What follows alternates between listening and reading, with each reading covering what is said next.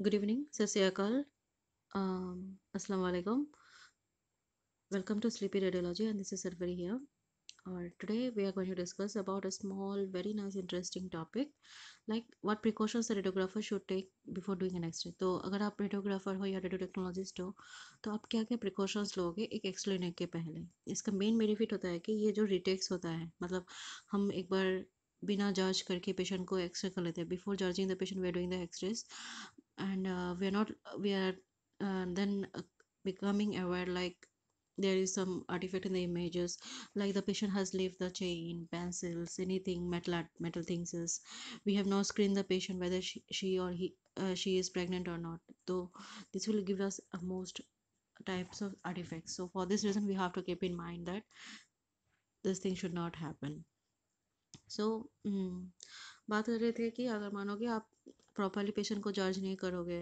या properly screen नहीं किया है तो आपको किसी भी वक्त आपको रीटेक लेना पड़ता है। तो ये एक अनवांटेड ऑकवर्ड फील करते हैं पेशेंट्स को। तो आपको ये ध्यान में रखना है कि ये सब चीज़ें ना हो। तो सो आप देख सकते हो कि यह पर एक इमेज है।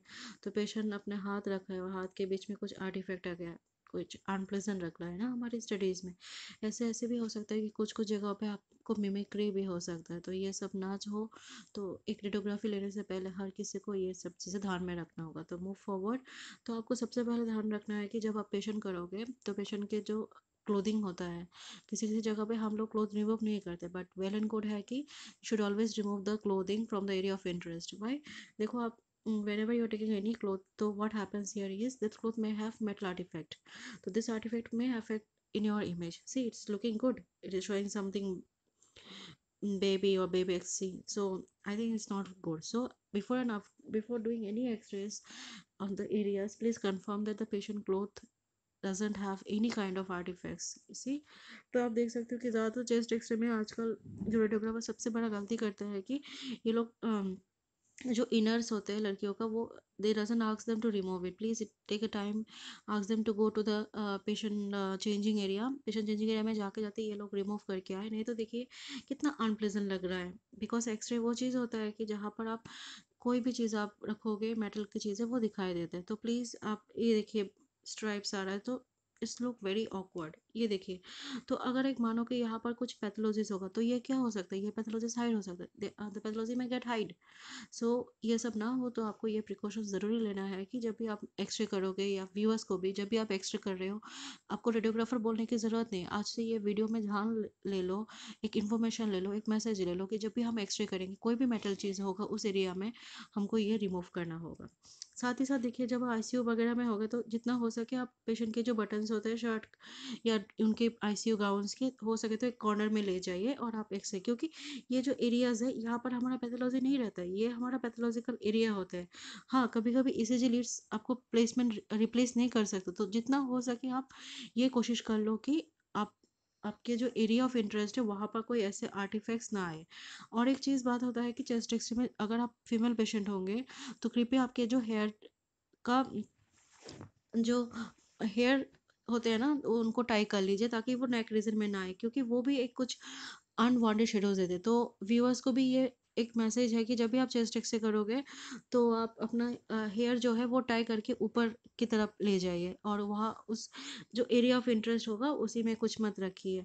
साथ ही साथ एक छोटा सा मैसेज ये भी है, मैंने काफ़ी जगहों में ये भी देखा है कि जो मैरिड लेडीज़ होता है, वो अपना मंगलसूत्र या जो ताली चेन होता है ना मैरिडल चेन होता है तो ये लोग क्या करते हैं doesn't want to remove it plus तो a radiographer always face an awkward situation like this type of metal artifacts. So, do one thing. जो आपको निकालने की ज़रूरत नहीं, आप जो आपके ईयर्स होते, उसी के बीच में रख के उस चेन को सर के ऊपर आपके हेयर के साथ क्लिप से टाइप कर लो। तो उसी से क्या होता है, एक अच्छा बेनिफिट होता है और आपका एरिया जो इंटरेस्ट है, वो भी कवर नहीं होता है।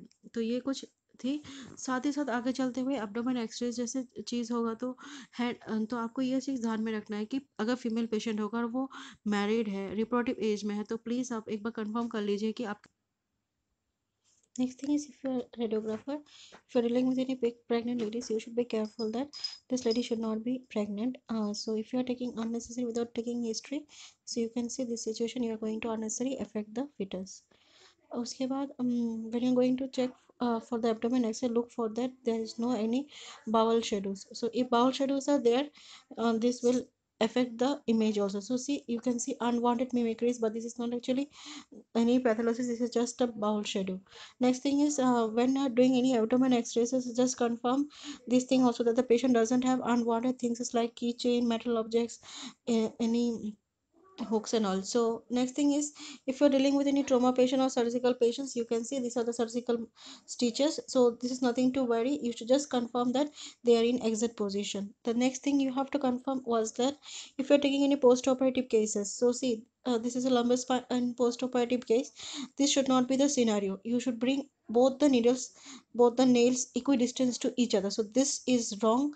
This is the right image for the uh, so same thing if you're having knee also lateral view have to see that both the ip nails is nails uh, will be in the same path and equidistant to other. This is a wrong image.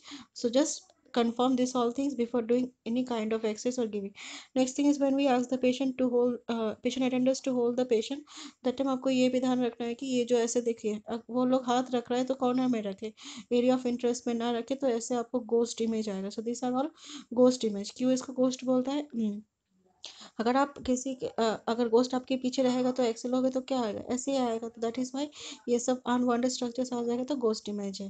तो ज़्यादा से ये याद रखना this is a small message to all radiographers confirm the areas before taking any x rays to reduce any kind of metal artefact if the light if you are dealing with any pregnant ladies in the abdomen studies confirm the she is not pregnant and don't expose the foetus और साथ ही साथ um, ये भी ध्यान रखना कि हम्म, bowl shadows वगैरह जो है वो क्लियर है।